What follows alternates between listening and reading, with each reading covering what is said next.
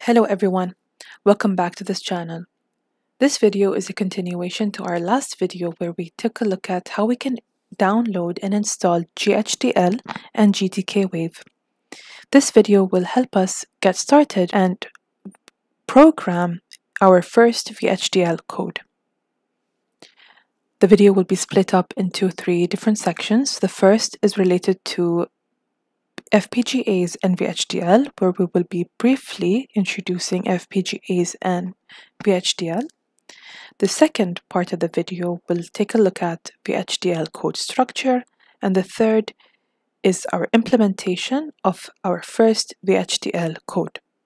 This video assumes that you have installed a VHDL code editor such as Notepad++ and that you have installed GHDL and GTK Wave. If you haven't, please take a look at our last video.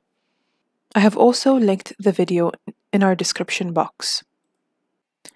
So let's get started. What are Field Programmable Gate Arrays, or FPGAs?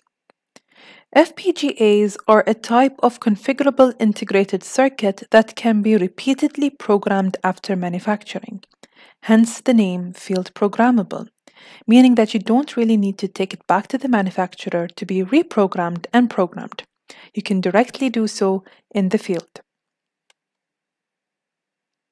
The second part of the name, gate arrays, is what the field programmable gate arrays are made up of, and they are made up of two-dimensional grids featuring a large number of gates, which are the fundamental units of that digital logic that makes up the FPGA. Since this video's aim is to get you started with your VHDL code using GHDL and then possibly through simulating the code using GTK Wave, we won't be going into depth in this small video series on what FPGAs are and what makes them up. However, it's important to understand that, are, that there are different hardware description languages out there, primarily two, that you can use to program FPGAs, and they are VHDL and Verilog. So as we've mentioned, there are two primary languages for programming FPGAs. The first is VHDL, which is the one that we will be using in our video, and the second is Verilog. And VHDL is short for Very High Speed Integrated Circuit Hardware Description Language. It is based on the Ada and Pascal languages. It is case insensitive and strongly typed.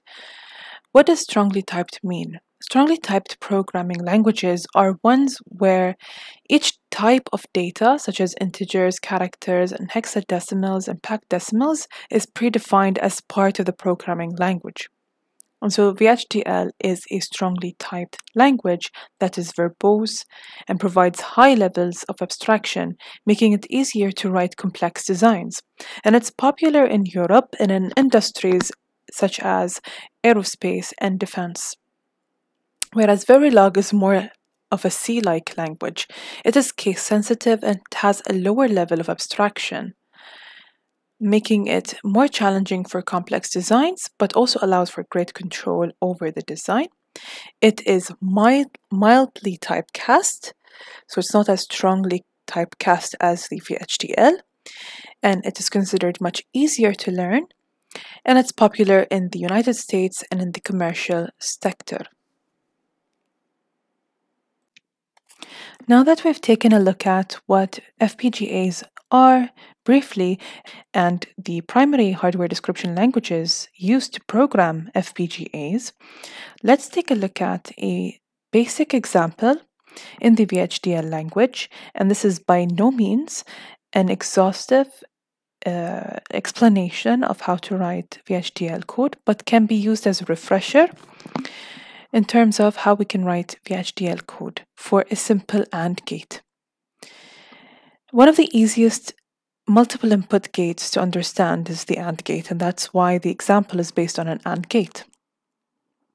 And if we take a look at the truth table of an AND gate, if the inputs if one of the inputs at least was low, then the output would be low. And if both inputs are high, then we would get a high output.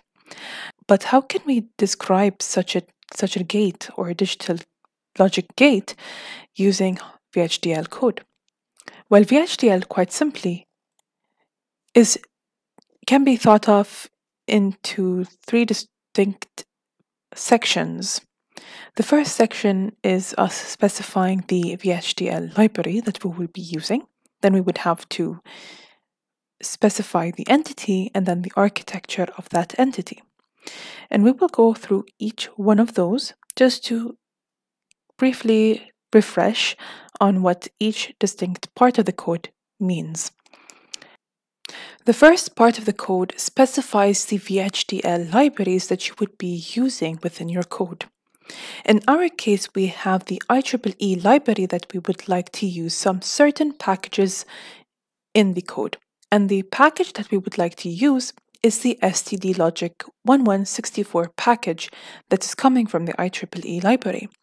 And the reason we need this package is we would like to get access to the STD Logic data type, which is the most commonly used data type to define and represent binary values, which are zeros and ones, within our FPGA design. So that's the first part of the code. The second part of the code is the entity. And the entity essentially describes the inputs and outputs of the module we are trying to describe. In our case, it's the AND gate. And so we would need a port declaration that establishes the interface of the object to the outside world. And there are three main parts of the port declaration we would need to have a name for the input or output ports. We would need to define the mode of that port, whether it's an input, an output, or an input and output, or buffer, and we would need to describe the data type of that port. So in our case, we have three main ports. We have two input ports with a mode of in, meaning input, and the data type being STD logic. Whereas the output is the AND result, as you can see, AND result, and the mode is out, hence it's an output, and the data type is STD logic. After creating our entity, we need to describe the architecture of that entity. And the architecture declaration describes the operation of that component that we've created. So it describes the functionality. In our case, we will be describing the functionality of the AND gate, and therefore we specify within our architecture that the AND result, the output of the AND gate, is nothing but the AND operation of the two inputs, input 1 and input 2. And with that, we've created our first VHDL code to describe an AND gate. So now that we've seen how a VHDL code is broken up into different sections, most specifically the library, the entity, and the architecture, let's take a look at how we can write that code, exact code, in Notepad++. First, open up Notepad and make sure that language is set up as VHDL so that when you write down the code that we've already uh, explained, uh, it gets the syntax gets you know highlighted. So first, first things first, we define the library, which is the IEEE library, and the package that we will be using from the IEEE library. The second part of the code, which was the entity, is where we define the interfaces to the outside world for the AND gate as an entity. So we've created an entity, named it the AND gate. We've created a port declaration. We've specified the two interfaces as inputs, which are input 1 and input 2, and the output interface or port, which is the AND result. We've also specified the mode that they're all in. So input 1 and input 2 are both inputs. That's why we've uh, put the mode as in, and the data, uh, the data type for the inputs are STD logic. As for the output, the mode is output, so we've mentioned out over here, and the type is std logic. After specifying the ports, we have ended. We, we end the entity. Then we have the architecture, and the architecture, typically you would define some signals over here if you would need any, but since this is a very simple design, we would start with defining the functionality of the AND gate right after the begin. And of course, the architecture should have a name. In our case, we named it RTL. You could name it whatsoever, but it should be of the entity that you have defined over here. So since we've called the entity AND gate, the, the architecture RTL will be of the same name of the entity that we've de defined up here. Right after the word begin, we have defined the functionality as the result or the output of the AND gate to be the AND operand of both inputs, input 1 and input 2. Now, the syntax should be correct, but let's remove one of the semicolons over here. And let's say we would like to check the syntax with the help of GHDL. To do so, we would need to open up the directory, the folder directory, and then open up the command line.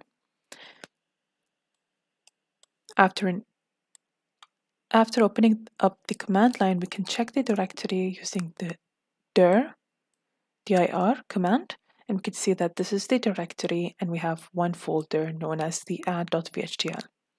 To check the syntax, we would need to first of all save the code Then write ghdl dash s add.vhdl. We could see that there is an error over here, which is the missing semicolon at the end of the port clause, and that's correct. We should have a semicolon over here, and when I fix that and run the command again, we could see that we have fixed all errors. Now that we've tested the code, and we've made sure that the there is no syntax errors. How can we make sure that this code actually represents the behavior of an AND gate? To do so, we would need to create a way for us to test this code, and that is a test bench. Test bench is basically a code that is main its main purpose is to Look at our unit under test, and in our case, our unit under test is the AND gate. And we would look at that unit under test through a simulation environment so that we can analyze what we've created in terms of code and see whether or not the code gives us the behavior that we would like to expect. And this means essentially whether or not the AND gate that we have just programmed through a hardware description language does it behave like the truth table that we've just observed a few slides ago. And this is exactly what we will be doing in our next video, where we will be taking a look at how we can create a test bench for the AND gate and simulate it with the help of GTK Wave.